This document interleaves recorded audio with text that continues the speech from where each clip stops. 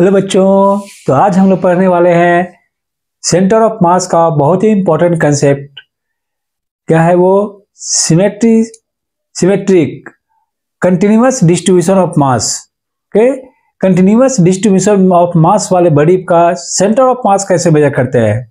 Just previous video में हम लोगों ने उसका रूल पढ़ा है। कंटिन्यूस डिस्ट्रीब्यूशन ऑफ़ मास वाले बॉडी का, यानी सिमेट्रिक बॉडी यूनिफॉर्म मास वाले बॉडी का सेंटर ऑफ़ मास कहाँ पे होता है? है ना बच्चों? उसका रूल पढ़ा है अपने। और अभी हम लोग, जैसे रॉड पे भी मेजर किया था, रॉड का सेंटर ऑफ़ मास क्या होता है?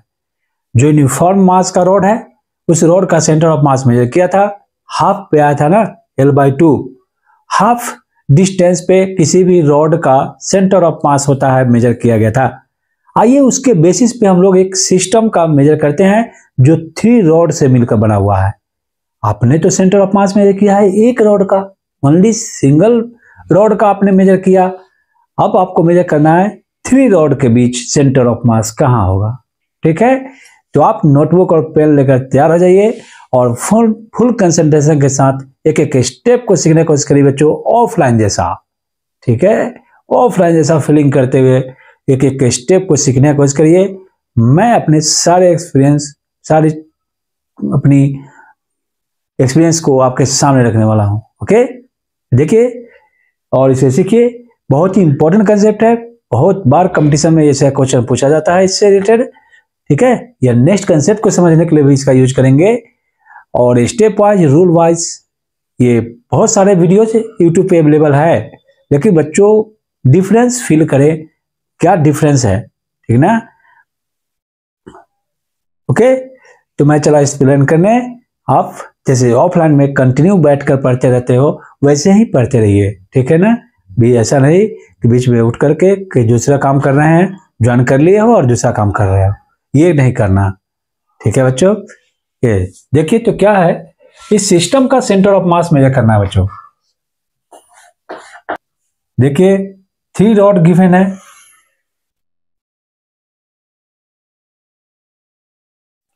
एक रॉड एक दूसरा रॉड यहाँ पे है बच्चों। और थर्ड रॉड होगा यहाँ पे।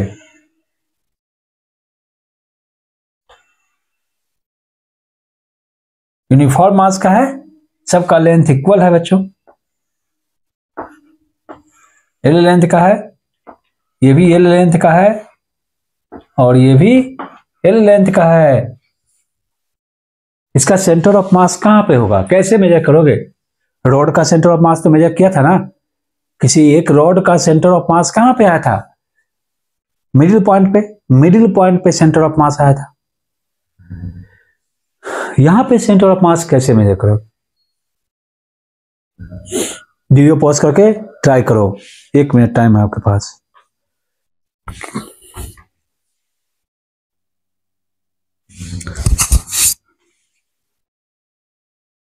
के करो गुड मॉर्निंग कंटिन्यू क्लास करते रहिए। बहुत इंपॉर्टेंट कंसेप्ट पढ़ रहे हैं।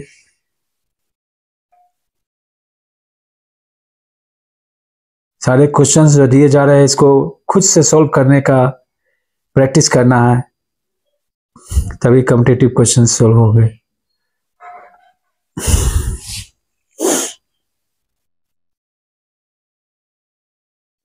देखिए तो इसे कैसे सॉल्व करोगे आप?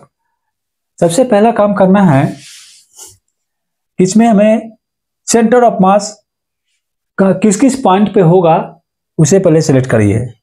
इस रॉड का सेंटर ऑफ़ मास कहाँ पे होगा बच्चों? मिडिल में होगा। मिडिल पॉइंट पे, यहाँ से हाफ़ डिस्टेंस पे होगा ना? इसके मिडिल में इसका सेंटर ऑफ़ मास होगा। ठीक? और इस इस रॉड का सेंटर ऑफ़ मास कहाँ पे होगा? यहाँ पे होगा बच्चों। यहाँ से एल बाई टू और इस रॉड का सेंटर ऑफ़ मास कहाँ पे होगा? यहाँ पर होगा। यहाँ पर होगा। यहाँ से हमेशा रोड का एक रोड का सेंटर ऑफ़ मास कहाँ होता है? एक मिडिल पॉइंट पे होता है। क्या करोगे? सारे तीनों पॉइंट का कोऑर्डिनेट लिखना पड़ेगा।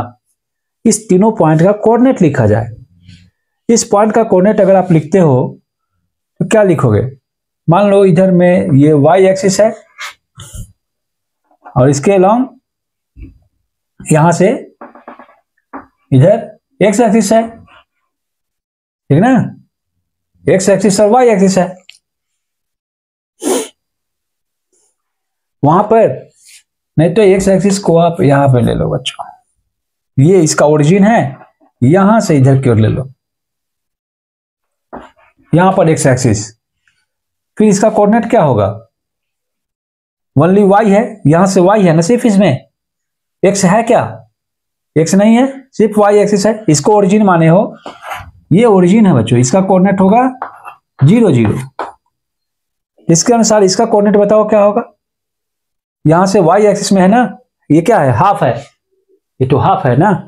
तो एक्स लेकिन एक्स तो ज़ीरो होगा। एक्स का पोजिशन ज़ीरो और वाई का एल बाई टू इसका कोऑर्डिनेट मिल गया तुम्हें? इसका कोऑर्डिनेट क्या लिखोगे? यहाँ से आगे बढ़ो। इससे आगे बढ़ोगे। तो एक्स में एल बाई टू यहाँ से यहाँ तक क्या है बच्चों? एल बाई टू है ना? और वाई भी एल बाई टू इस पॉइंट का कोऑर्डिनेट होगा बच्चों। L by two and L by two अब इस पॉइंट का कोऑर्डिनेट क्या होगा? इसमें फिर वाई है। वाई है? लेकिन एक्स क्या है बच्चों? एक्स तो यहाँ से यहाँ तक है। एल है ना? तो एक्स होगा एल और वाई होगा एल बाई टू समझ गए? है ना बेस्ट कैसेट जैसे अब तो कोऑर्डिनेट मिल गया, अब तो वेरी इजी हो गई। X X axis Y axis और Z axis X C O M Y C O M Z C M measure कर लो। लेकिन दोनों में कौन कौन सा एक्सिस है? सिर्फ़ दो ही एक्सिस है। एक्स और वाई मेजर करना पड़ेगा। जेड की ज़रूरत नहीं है। एक्स ओ एम आप क्या ऐसे मेजर करोगे इसका? एक्स ओ एम क्या होगा? M one X one plus M two X two plus M three X three होगा। Divided by M one plus M two plus M three अब इसे कैसे लिखोगे? मास यूनिफॉर्म मास है, सबका मास सेम होगा। सेम मास लिखना होगा। एम एक्स वन क्या है? जो वहाँ से बताइए एक्स वन यहाँ से क्या है? Zero M into zero plus M two क्या होगा इसका? इस पॉइंट का, इसका मास क्या होगा? यूनिफॉर्म मास है। तो एम होगा। एम और एक्स टू क्या है? एक्स टू की बात हो रही है बच्चों। एक्स एक्सिस के लोग बात करना हो तो एल बाई टू लिखोगे ना? L by two into L by two plus M three भी यूनिफॉर्म मास है तो एम होगा। और एक्स थ्री क्या लिखोगे आप? एक्स थ्री में एल लिखना पड़ेगा। L nine two L divided by M plus M plus M समझ गए? रॉड वाले कंसेप्ट को यूज़ करके आप इस सिस्टम का सेंटर ऑफ़ मास मेजर कर सकते हैं। यहाँ पे ये तो ज़ीरो प्लस ये क्या होगा? हम L by two M L by two plus ये क्या होगा? M L divided by three M next step बताओ बच्चों। इसका एलसीएम लोगे? ऊपर होगा three M L three M L by two into one by small M लिखना है। वन अपॉन थ्री एम इस थ्री एम से थ्री एम कैंसिल कितना आया? L by two X C O M भी इसका एल अपॉन टू आया बच्चों। एक्स सी ओ एम यहाँ पर एक्स एक्सिस के लॉन्ग सेंटर ऑफ़ मास जो होगा वो हाफ़ पे ही होगा। अब वाई सी एम मेजर कर लो। वाई सी एम क्या आता है?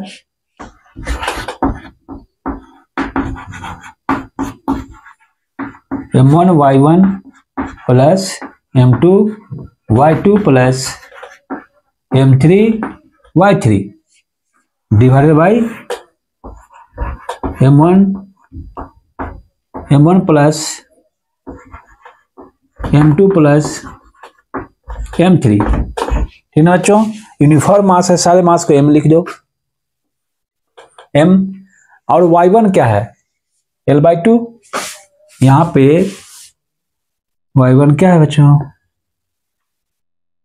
ये एल है, इसका एल है। तो टोटल लेंथ एल लिखा हुआ है, लेकिन इस पॉइंट का कोऑर्डिनेट क्या होगा? Zero into L by two होगा। तो वाई एक्सिस तो एल बाई टू है।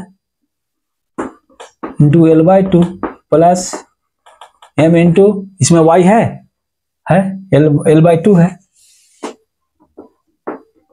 क्या इसके बाद वाला भी है? वाई वाई एक्सिस है यहाँ पर एल बाई टू देखो इसमें क्या आता है बच्चों। फिर यहाँ पर लिख दो three M okay three M तो एम आ गया बच्चों। एम कैंसिल कर दो।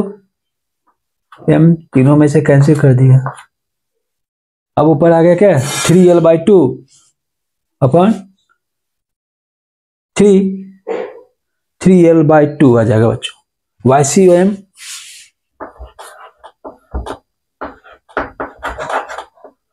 Y C O M is equal to three L by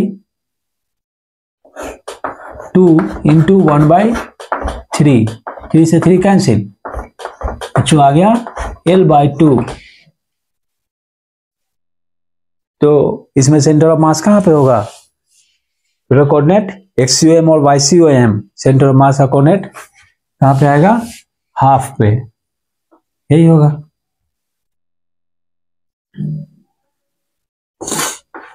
L by two और एल बाई टू यही होगा इस पूरे सिस्टम का सेंटर ऑफ़ मास कहाँ पे होगा? यही होगा बच्चों। समझ गए? है ना बेस्ट कंसेप्ट तो चलिए वीडियो पॉज करके इसे एक एक स्टेप को नोट करिए, फिर मैं नेक्स्ट क्वेश्चन लाता हूँ आपका।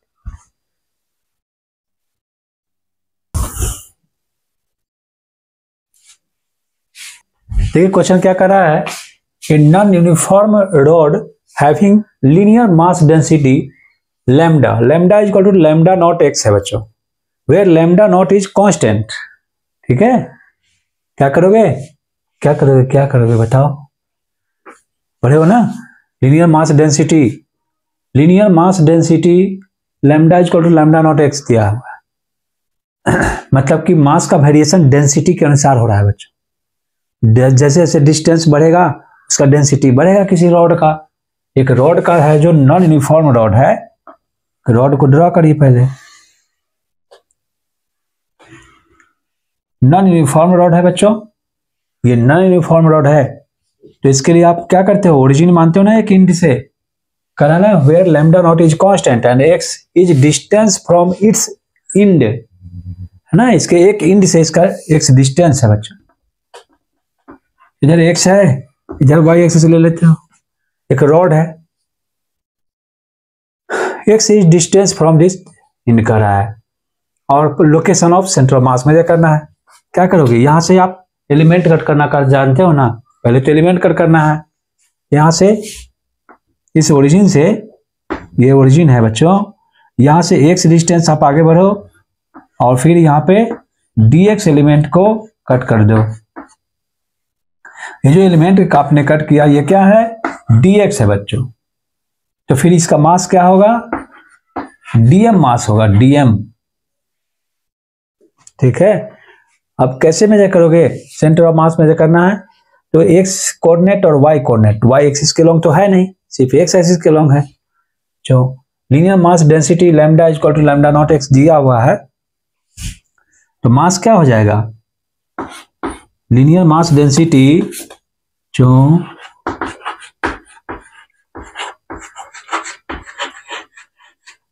linear mass density lambda is equal to क्या होता है? मास अपॉन एल होता है लेंथ होता है। मास अपॉन लेंथ होता है। Lambda equal to mass at per unit length कहा जाता है। तो इसमें आपको मास मेजर करना है बच्चों। M is equal to lambda L लिखोगे? तो लैम्डा कितना दिया हुआ है? लैम्डा नॉट एक्स दिया हुआ है। मतलब मास क्या होगा इसका? Lambda naught X. Lambda naught X. और इस लेंथ को क्या लिखोगे? किसका लिखना है? अभी तो ये एम का लिखे हो। तो सबसे पहले तो तुमने क्या किया? एलिमेंट कट किया ना? एलिमेंट कट किया। एट फ़र्स्ट सबसे पहला काम। At first we cut an element dx from end at x distance.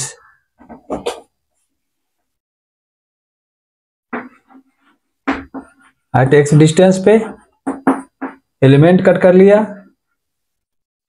फिर इसका मास क्या होगा? Mass of element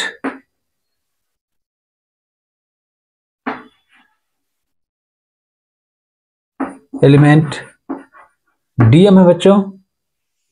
तो डीएम इज़ इक्वल टू क्या आएगा? लेमडा डीएक्स होगा। जिस लेमडा को क्या लिख रहे हो आप? Lambda naught X into D X लिखना होगा। ये इसका मास होगा। ठीक है? क्योंकि इसमें मास का वेरिएशन डेंसिटी बढ़ने के साथ साथ इसका मास वेरी करेगा, बढ़ेगा। जब इस रोड का डेंसिटी बढ़ेगा तो मास भी बढ़ेगा।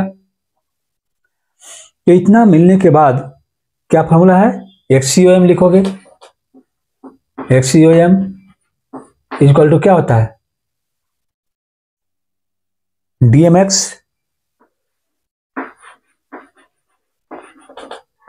डीएमएक्स अपॉन डीएम होगा। तो बच्चों डीएमएक्स डीएम कितना आया है? लेमडा नॉट एक्स आया है। Lambda naught X D X divided by यहाँ पर इंटीग्रेशन का मार्क दे दीजिए। और यहाँ पर हो जाएगा बच्चों lambda naught X lambda naught X हो जाएगा। ठीक है?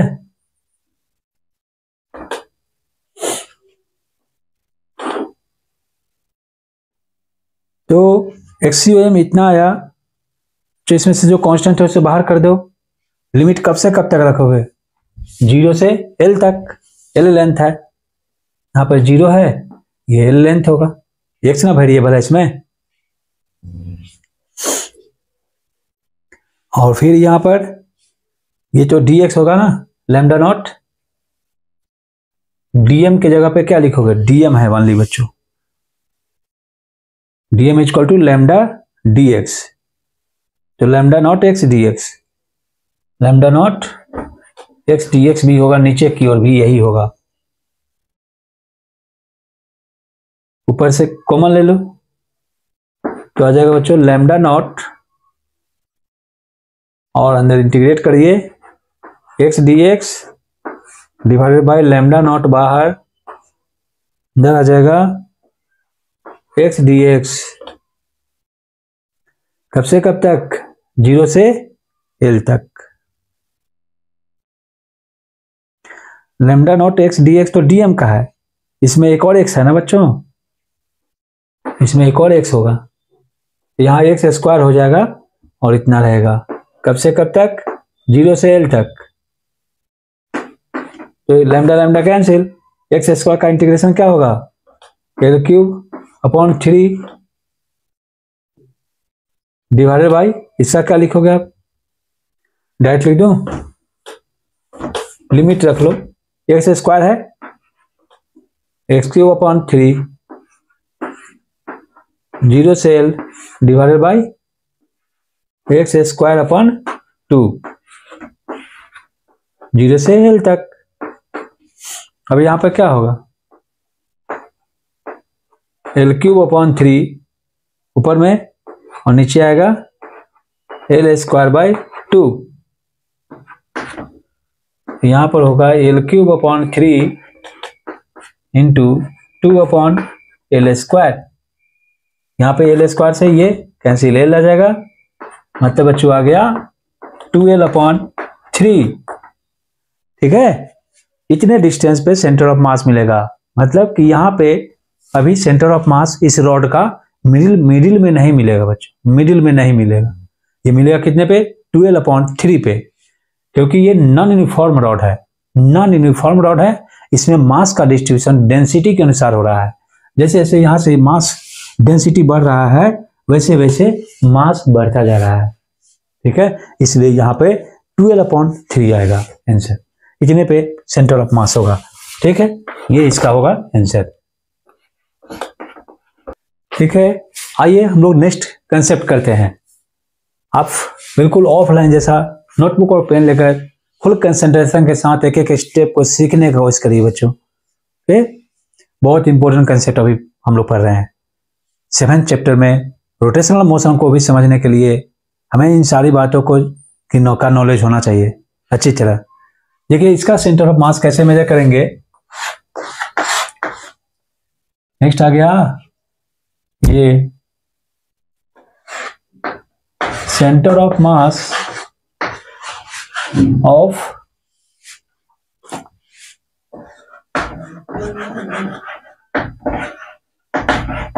semi circular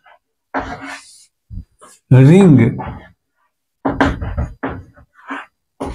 या वायर कह सकते हो बच्चों वायर वायर बोलने से आपको क्लियरिफाई हो पा रहा है। ये वन डायमेंशनल होगा वन डी होगा बच्चों। वन डी है ना? और लेमडा इसमें डिस्ट्रीब्यूशन ऑफ़ क्या क्या लिखेंगे? डिस्ट्रीब्यूशन को लेमडा लिखेंगे। एम मास है। एम मास होता है। ठीक ना?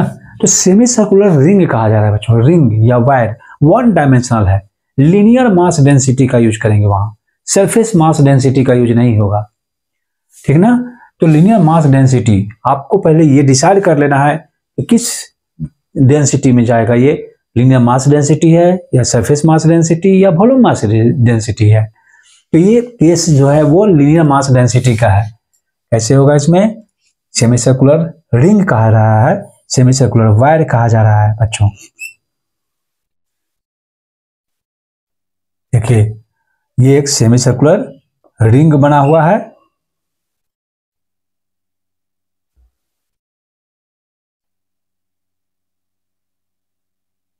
ठीक ना बच्चों? ये है सेमी सर्कुलर वायर और रिंग ये कह सकते हो। इसका कोई सेंटर होगा? यहाँ से इसका रेडियस है। ये और रेडियस है बच्चों। फिर आप क्या पढ़े हो? क्या क्या करना है? सिमेट्रिक के केस में आपको क्या करना है? क्या रूल पढ़ा आपने? थ्री रूल पढ़ा था ना? पहला एलिमेंट कट करना है। दूसरा उसका मास मेजर करना है यूनिटरी मेथड से, और तीसरा इंटीग्रेट कर देना है। इंटीग्रेट करना है बच्चों। तो ये थ्री रूल को ही फॉलो करना है। कैसा भी सिस्टम हो, ये थ्री रूल फॉलो करना है। अब सवाल आपके पास, बच्चों प्रॉब्लम आपके पास आएगी। हम इसका एलिमेंट कैसे कट करें? एलिमेंट कैसे कट करें? बच्चों, एक बात ध्यान रखना। पहले तो कोऑर्डिनेट लिखने के लिए आपको एक्सिस दिखाना पड़ेगा। इधर एक्स एक्सिस और इधर वाई एक्सिस हो गया। एक्सिस पहले दिखाओगे। एक्स एक्सिस और वाई एक्सिस इसका पूछूँ अगर मैं, ये तो ओरिजिन है। इसका सेंटर ऑफ़ मास इसका कोऑर्डिनेट क्या होगा? ज़ीरो ज़ीरो होगा। लेकिन एक बात है, जैसे इसका centre of mass Y axis के लॉन्ग अगर बात करते हो आप वाई एक्सिस के लॉन्ग बच्चों तो यहाँ से जो सिमेट्री शो कर रहा है ये। देखो, इसके लॉन्ग इस जितना मास इधर होगा, उतना ही मास इधर भी होगा। इसके इस साइड में जितना मास होगा, उतना ही इस साइड मास होगा। है ना? तो इस लाइन पे ही कहीं भी सेंटर ऑफ़ मास होगा। सिमेट्रिक लाइन पे होता है सेंटर ऑफ़ मास इस लाइन पे होगा, लेकिन एक्स में क्या होगा? बच्चों एक्स एक्सिस में सेंटर ऑफ़ मास देखते हैं, क्या एक्स एक्सिस के लोग मास का डिस्ट्रीब्यूशन हो रहा है क्या? हो तो रहा है। तो क्या होगा एक्स एक्सिस के एक्स सी एम और वाई सी एम क्या होगा, ये मेजर करना है। इसके लिए हम लोग पहले एलिमेंट कट करेंगे। एलिमेंट कट करने में क्या करोगे आप? यहाँ से थीटा एंगल पे, यहाँ से थीटा एंगल और इसको हम क्या करेंगे बच्चों? एक एलिमेंट कट करेंगे। इस रिंग से एक एलिमेंट कट करेंगे हम लोग। यहाँ तो बहुत सारा, जैसे यहाँ पे देखो, यहाँ पे भी मास है DM mass party element cut करोगे ना तो यहाँ भी कट कर सकते हो, यहाँ भी। इस तरह से यहाँ यहाँ डिफरेंट पोजीशन पे सभी जगह पे एलिमेंट कट कर सकते हो। देखो, यहाँ पे एलिमेंट कट किया जा सकता है ना। तो सारे एलिमेंट का हाइट तो डिस्टेंस तो डिफरेंट है। डिफरेंट डिस्टेंस का है। तो आपने क्या किया कि यहाँ पर जरा सा एक बात और ध्यान रखो। वाई एक्सिस के लॉन्ग यहाँ पर, यहाँ पे जितना मास है, उसके रिस्पेक्ट में यहाँ पे कितना है? यहाँ तो मास कम है। सबसे कम मास हो जाएगा ना मास डिक्रीज कर जाएगा। और यहाँ से नीचे आने पे मास बढ़ रहा है ना दोनों साइड अगर इस दोनों इंड की बात करूँ मैं, सबसे ज़्यादा मास यहाँ पे होगा। फिर यहाँ पे कम होता जा रहा है बच्चा। ठीक है? तो ये काम होगा। अब यहाँ पे थीटा एंगल है और डी थीटा का एंगल का आपने एक एलिमेंट कर कर लिया। इसका कुछ लेंथ होगा डीएल लेंथ होगा। इसका रेडियस क्या होगा बच्चों? रेडियस तो आर ही होगा। ठीक है? डीएल एलिमेंट कट कर लिया। यहाँ पे मास मेजर करना पड़ेगा। डीएम मास क्या होगा इसका? ठीक ना? तो सेंटर ऑफ़ मास वाईसीओएम और एक्सीओएम से पता चल जाएगा किधर की ओर होता है। एलिमेंट तो कट कर लिया इसका मास मेजर करना पड़ेगा। डीएम मास के लिए क्या करोगे? सबसे पहला काम क्या कर, क्या? We cut an element DL और at angle theta theta angle पे. या फिर एंगल वाइज थीटा एंगल को मेजर कर लिया. एलिमेंट मास ऑफ़ एलिमेंट क्या होगा?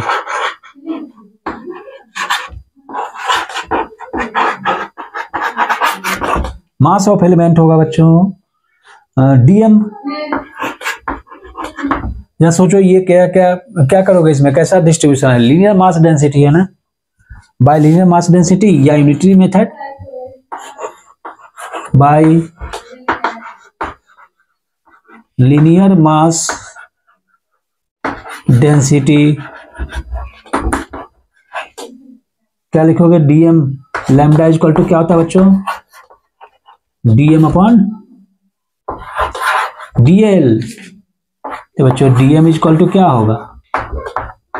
लैम्डा डीएल होगा? ठीक है? तो मास भी मिल गया एलिमेंट का। या तो यूनिटरी मेथड अपना लो अपना लो, या फिर linear mass density surface mass density volume mass density ऐसा यूज़ कर लेना।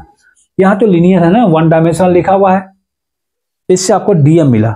सवाल है डीएल क्या होगा? डीएल तो आप जानते हो आर्क लेंथ बहुत ही बेसिक कंसेप्ट है ये।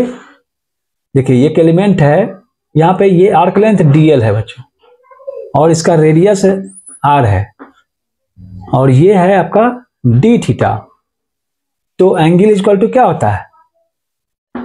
D theta is equal to DL upon R लिख सकता हूँ मैं इसे? लिख सकता हूँ ना? फिर डीएल इजक्वल टू क्या होगा? आर डी थीटा हो जाएगा। ठीक है? DL is equal to R D theta. समझ गया बच्चों? Is equal to R D theta. अब इसको रख दे यहाँ पे। तो डीएम इजक्वल टू हो जाएगा लैम्डा और डीएल को आर डी थीटा लिख दीजिए। लैम्डा इजक्वल टू क्या होता है? Lambda since lambda is equal to mass at per unit length होता है। तो D DM is equal to M by L R D theta हो जाएगा। ठीक है ना? समझ गए? तो यहाँ पे ये जो एलिमेंट आपने कट किया इसकी हाइट क्या होगी? इसकी डिस्टेंस वाई एक्सिस के लॉन्ग इसका डिस्टेंस क्या होगा? आपको डिस्टेंस भी चाहिए ना? ये जो डिस्टेंस है अगर आप यहाँ पे एंगल रखते यहाँ पे एलिमेंट कट करते तो एंगल क्या होता? थीटा हो जाता।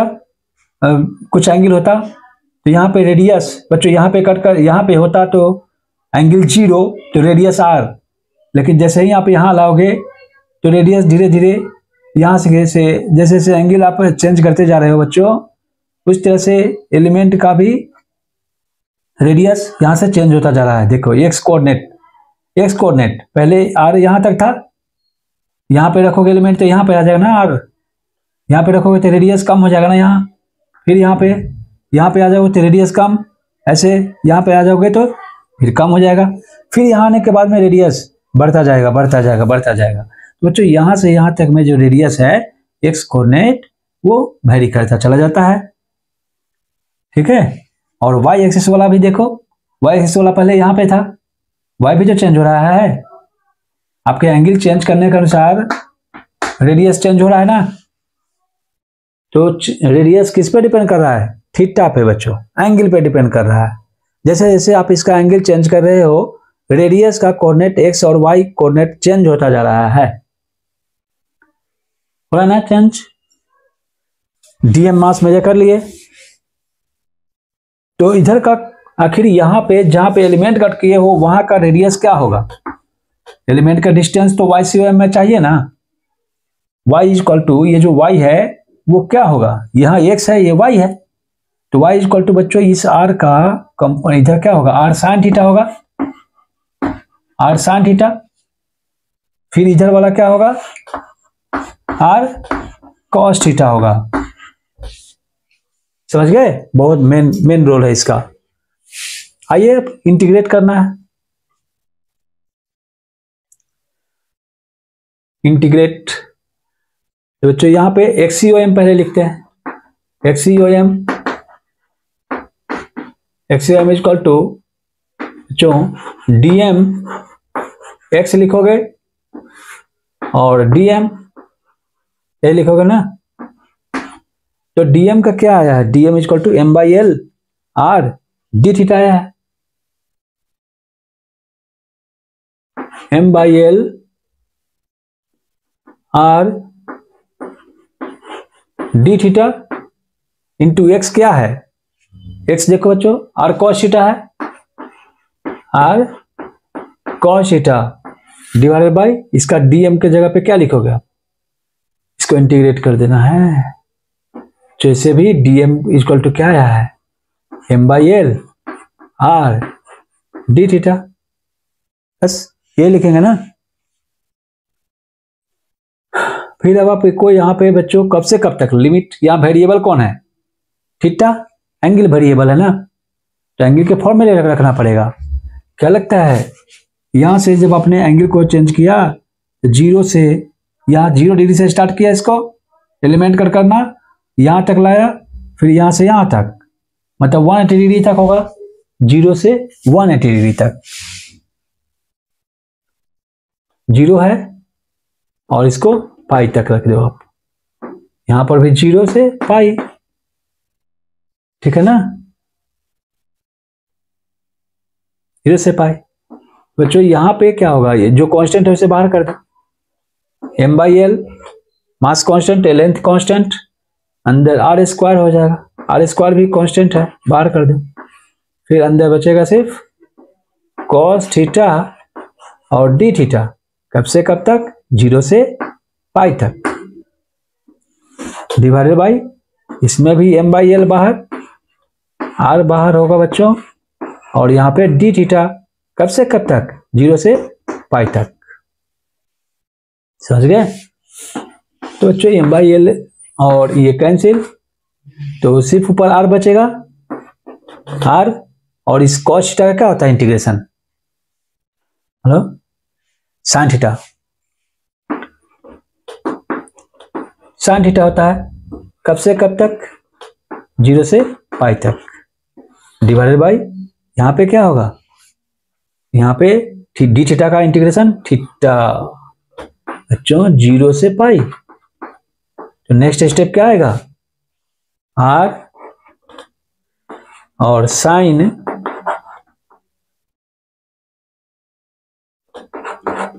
pi minus sine zero.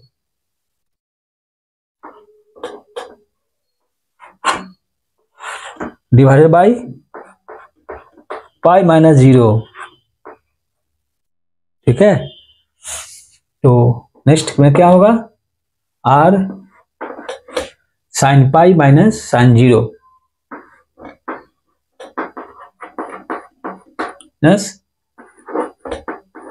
sine zero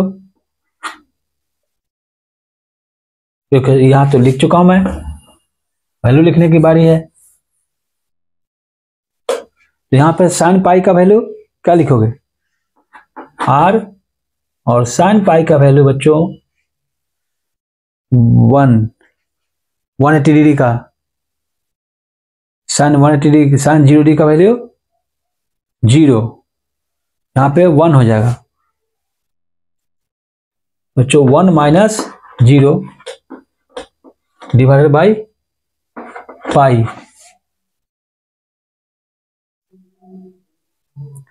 cos का क्या होता है? इंटीग्रेशन साइन का कॉस डिफ्रेंसिएशन होता है बच्चों, और साइन का डिफ्रेंसिएशन कॉस और कॉस का माइनस साइन डिफ्रेंसिएशन होता है।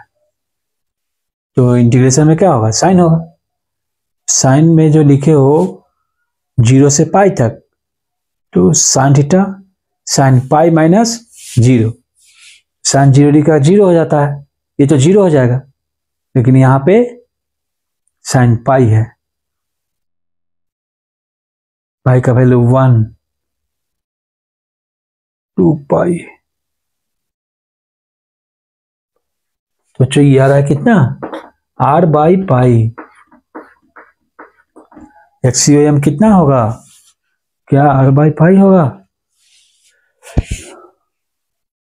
साइन पाई का भी ज़ीरो होगा बच्चों। तो बच्चों साइन पाई का भी वैल्यू ज़ीरो हो जाता है। तो यानी एक्सीओ एम में आ जाएगा। ये ज़ीरो ही है। तो बच्चों R into zero by pi यानी ज़ीरो आ जाएगा। तो एक्सीओ एम में एक्स एक्सिस के long X C O M इसका ज़ीरो होगा। एक्स एक्सिस के लॉन्ग इसका सेंटर ऑफ़ मास नहीं होगा। ठीक है ना? क्योंकि मास का वेरिएशन जो है, वो तो इसके वाई एक्सिस के लॉन्ग ही हो रहा है ना। ऐसे होता जा रहा है। दोनों साइड है लेंथ ऐसे हो रहा है। यूनिफॉर्म मास है? तो एक्सीओ एम ज़ीरो होगा। बच्चों जैसे नोट करिए।